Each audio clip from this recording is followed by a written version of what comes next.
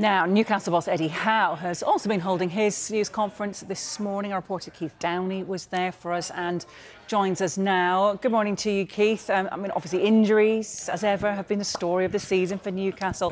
Any signs of, of improvement?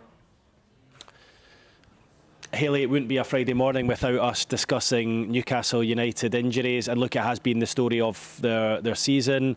Um, I'm getting tired of listening to myself talking about it, to be honest. They've been blighted with injuries. And just when things were beginning to look a little bit better last week with the return of Harvey Barnes, who of course scored two against West Ham in that 4 3 comeback win, and Elliot Anderson, both, both came back. They then were dealt the news that Jamaal Lascelles, who was the replacement for Sven Botman, who is also also injured will both miss the up to nine months with ACL injuries. So look, bad news for Eddie Howe, but he does have enough players to take to the field against Fulham tomorrow. And look, they're still fighting for a place in Europe, and he didn't want to go too much into the injuries because he doesn't want to use it as an excuse. I think the difficult thing is when you're stretched, you lose a couple, when you become even more stretched. And I've always said this season, when you get to a, a sort of a tipping point um, it's very difficult to control that then because you can't rest and rotate players that maybe you would if they're carrying something or they're looking vulnerable.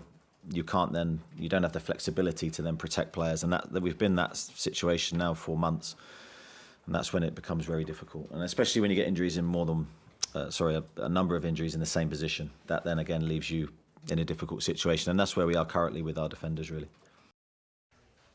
Okay, what about plans for next season then, Keith? Is there a concern that Newcastle actually won't be able to, to spend much in the summer?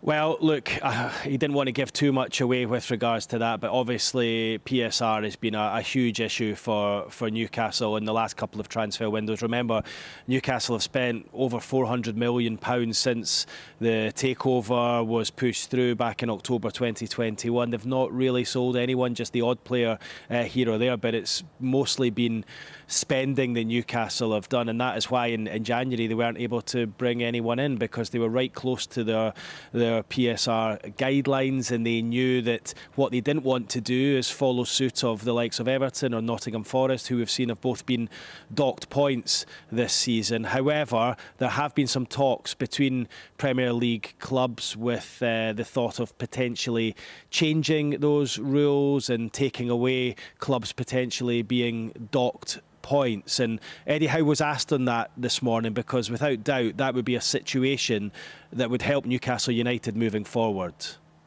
I've got plenty of thoughts on it, but uh, I don't know if much for uh, public consumption. I, I, I, think it's difficult to deal with rumour, isn't it? We need to deal with facts, and at this moment in time, it looks like points deductions are the way the Premier League are dealing with things, um, and we have to try and fall in line with everybody else. So then, uh, with PSR in mind, do you think they might actually even have to, to sell this summer, Keith?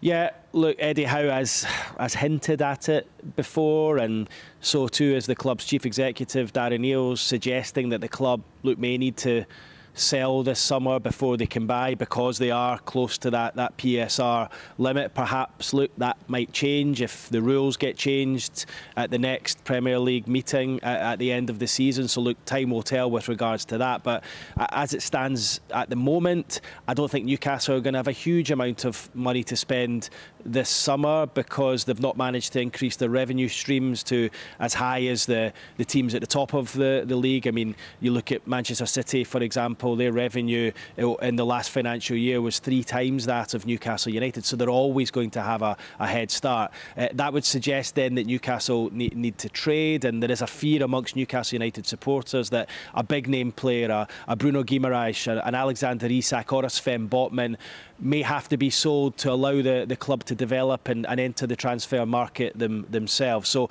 look, there is a fear that Bruno um, may go this summer amongst supporters. They've all been talking about it on social media uh, this week, and Eddie Howe was asked that question uh, this morning, and, and this was his response. Let me tell you, uh, players like Bruno, I think I've said this before, they're not around every corner. They're very, very rare. Bruno, Bruno should again should be appreciated for everything that he brings my intention would be to keep Bruno at the football club for as long as we possibly can. Um, I can never make guarantees though because that would be absolutely foolish of me because I've been in football long enough to know you never know what's going to happen tomorrow. But he's uh, an integral part of our team and he's playing really well at the moment.